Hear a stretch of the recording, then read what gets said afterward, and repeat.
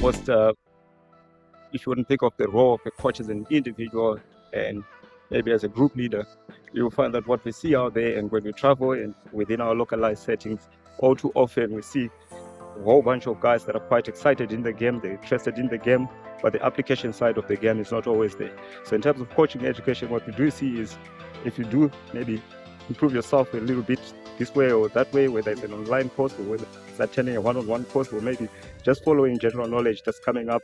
across all social media sites and uh, some of the local federations and international federations, you find that there is that little bit of an improvement that can happen, particularly from a knowledge perspective, which you can help transfer to the players, which kind of helps them to maybe have a better experience, overall experience with football itself as a craft, you know, as, as, as a game, you know, as, also as part of personal development. So there's quite a lot that we can bring in just from a coaching education in terms of the players understanding the team aspect Yeah. of it, personal development is very, very important as a soft or the softer side of growth Yeah. there, as well as the